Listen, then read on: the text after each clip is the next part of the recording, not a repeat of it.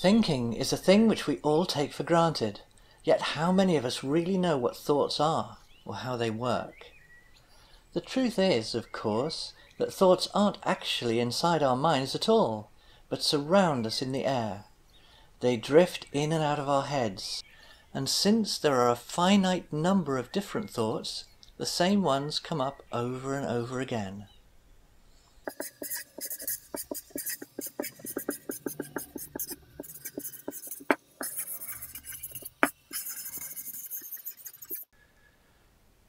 Thinking is a joy and a pleasure, and I believe that the old saying that we are each the centre of the universe is true, because the universe exists inside our heads.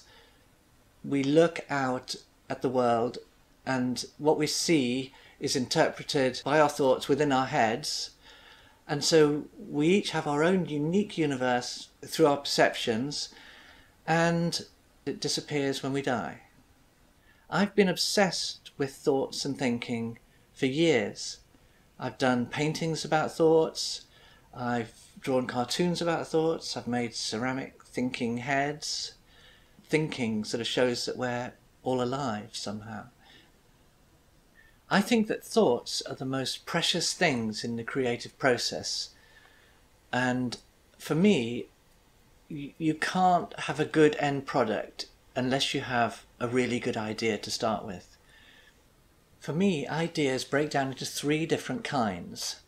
And the first is a sort of nuts and bolts idea. A nuts and bolts idea is one where, from an initial thought that sparks it off, you can kind of logically work your way through to the end. Here's an example um, bondage fun around the home bondage fun around the home sounds kind of amusing. And then it's quite straightforward from that to uh, come up with things like espalier training for Mr. Brown, or the Baker quads have themselves installed as a gazebo, or a keen DIY carpet fitter. And um, by adding a few of those kind of thoughts together, you almost have a complete strip, but the only thing you need then um, is an ending. And uh, the kind of ending I don't like is is a punchline, which is a sort of trick or a joke that once you've heard it and hopefully laughed, uh, then the cartoon is is sort of over and finished. So, if possible, I try and kind of have a true observation or a, or a sort of human emotion at the end or or something like that. And in this case, uh, a, a case of human bondage is the idea that one person loves the other and has trapped them in a sort of marriage or whatever. So love becomes bondage, and um, that works for me. I love you, and I'm never going to let you go. Scary, isn't it? The second kind of idea is, in my opinion, a flash of inspiration, and uh, in my brain, a flash of inspiration seems to mean the, a collision between two thoughts or two different ideas, some sort of a, a, dark idea from the past or an obsession and something I heard on the radio yesterday. In this one, I was thinking about um, snow and Christmas, and I thought about snowmen and snow people, and then it suddenly occurred to me that um, if there was a great leap forward for snow people, it could be the invention of fire, but that would be a great leap forwards and backwards because the invention of fire would mean that the snow people became extinct. The third kind of idea is even more mysterious than a flash of inspiration.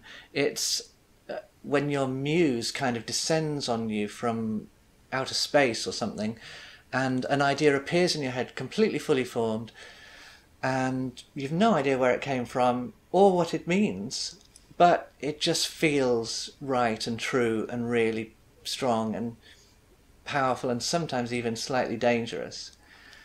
Uh, you just have to kind of try and get into the right frame of mind and the right uh,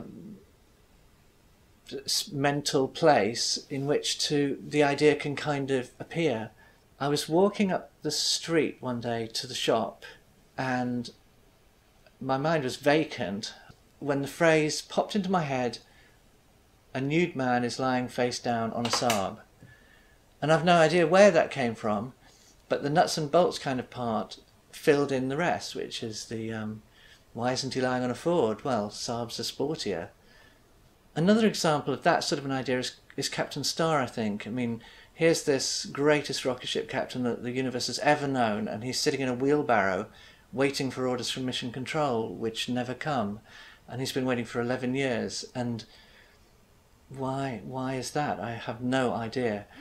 On the nameless planet, it's just another day without orders. Will you be renaming the new planet in your own honour, Captain? No, Jones. I think we'll let that stand. Another idea is um, in Small Birds Singing. Delphinium, for example, has been the tragic victim of a cosmetic surgery accident where her desire to look better has resulted in her ending up with a clown's face and she spends the rest of her life trying to um, find a way to restore her former beauty. These mysterious kind of ideas just sort of float up when they're needed, and um, or hopefully they float up when they're needed.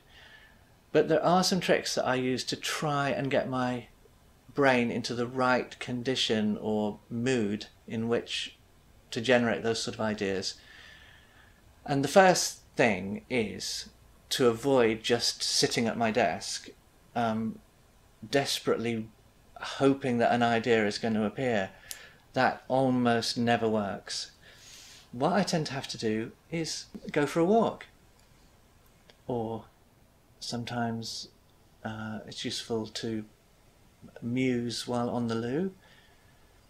Um, a very good one is to run a bath and daydream in the bath.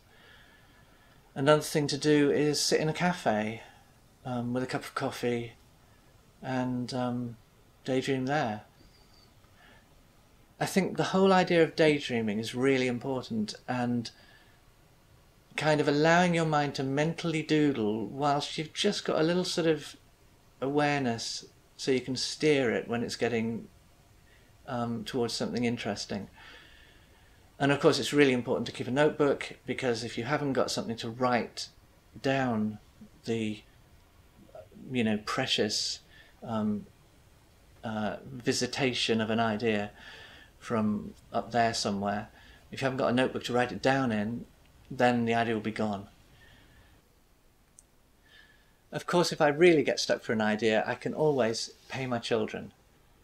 My son told me one day that he wanted to be super cremated and I thought, wow, what's that? And he said, well, that's when you're cremated at such a high temperature that you turn into a gas. And then you can be bottled and released from a high mountain into the wind and fly around the world. And I thought that was such a great idea for a cartoon strip that I you know, gladly handed over 20 quid. Recently, I was sitting in my studio surrounded by things and books and pictures and all the work I've done over 25, 30 years. And it occurred to me that being surrounded by all my stuff was kind of stifling fresh thinking and fresh ideas.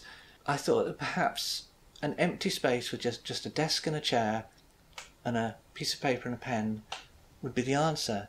Fresh ideas could sprout and um, flourish. So my cousin very kindly put a shed in the woods behind her house and it's got a table and a chair in it and when I'm visiting I can go and sit in it and look out at the trees and just think.